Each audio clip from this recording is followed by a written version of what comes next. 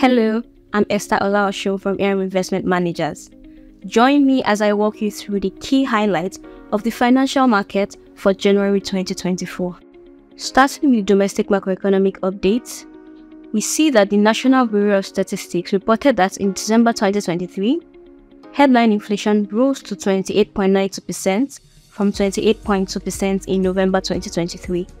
Food inflation increased to 33.92%, and core inflation reached 23.06%. On a month on month basis, headline inflation rose to 2.29%, with food inflation at 2.72% and core inflation at 1.82%.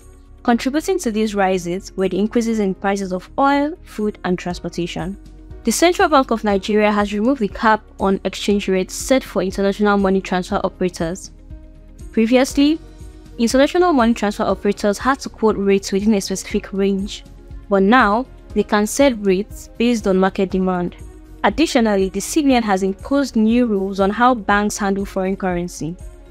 Starting February 1, 2024, banks are limited to a maximum short position of 20% or a zero long position of their shareholders' funds unimpaired by losses.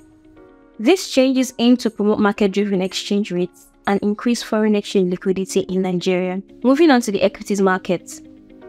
In January 2024, the Nigerian stock market had a strong start, continuing the upward trend from the previous year. The NGX All Share Index exceeded 100,000 points, reaching 101,154.13 points, a significant jump from December 2023. This was driven by gains in 18 out of 22 trading days, with trading sentiment mostly positive. Trading volume and value also saw substantial increases compared to December 2023.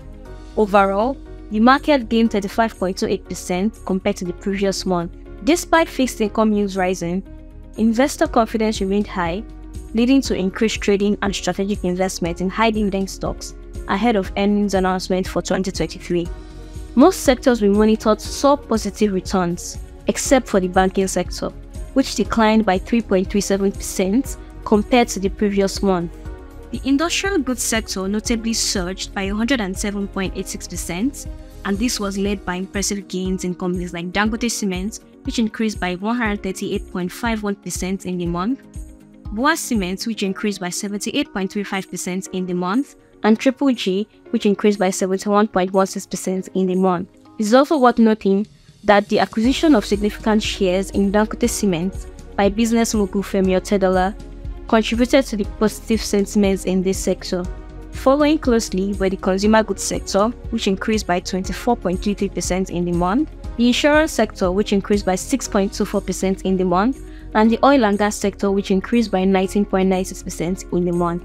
Moving on to the fixed income market. In January 2024, the Nigerian fixed income market had a rough start as average yields went up across the board. For FGN bonds, the average yields rose by 0.36% compared to the previous month, reaching 14.49%. Treasury bills also saw a significant increase of 2.86%, settling at 9.15%. Overall, the Naira fixed income market experienced a 1.61% increase, closing at 11.82%. The rise in yield in the fixed income market reflects on one hand the tighter financial system liquidity, and on the other, the continued emphasis by the CBN on their preference for a elevated interest rate environment as part of the overall measures to manage the economy. During the month, the Debt Management Office, the DMO, auctioned 260 billion naira worth of bonds, reopening four instruments the March 2027, April 2029, June 2033, and the June 2038 at 90 billion naira each. Investors bought 418 billion naira of these bonds, but demand was lower compared to the previous auction. The average marginal rate also dropped slightly by 0.32% to 15.75%. Meanwhile, the secondary bond market saw higher yields, driven by selling pressure, especially in the March 2024, the March 2027, and the April 2029 bonds. The market started strong due to increased liquidity, but turned bearish later as the central bank conducted auctions to reduce liquidity. The January 2024 NTB auction rates dropped significantly by 4.40% to 6.46%, with bid to cover ratio decreasing by 43.83% to 18.07x. Two auctions were held and both were fully subscribed. At the first auction on January 10th, rates fell to 5.02% with bid to cover ratio rising to 20.16x. The final auction on January 24th saw rates climb to 7.90% with bid to cover ratio dropping to 4.69x. In the secondary market, average yields rose to 9.15% from 6.29% in December. Weekly, selling pressure in the third and fourth weeks offset buying in the first and second weeks. Ahead of the 293rd Monetary Policy Committee meeting, Bill for February 2024, the CBN held three open market operation auctions in January. The first auction on January 10, 2024, had an average stop rate of 14.08%, contrasting with the previous auction's zero stop rates. The bid to cover ratio decreased by 0.52% to 1.38x. In the second auction on January 15th, the average stop rate dropped 13.67%, with a bid to cover ratio increasing to 1.73x. In the final auction, both the average stop rate and the bid to cover ratio decreased to 13.50% and 1.53x respectively. In February, we anticipate mixed sentiment in the local stock market as investors react to the release of the 2023 financial year earnings. Ultimately, February's stock market performance will be heavily influenced by the disclosed earnings for 2023 financial year.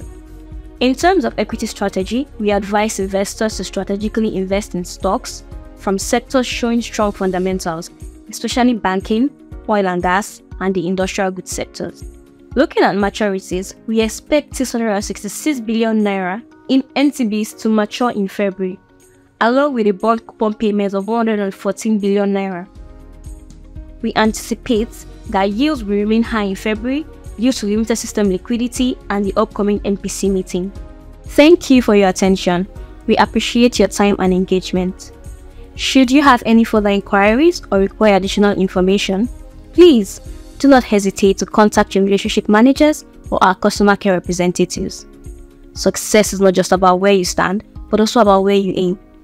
Remember, we remain invested in your tomorrow. Until next time, take care.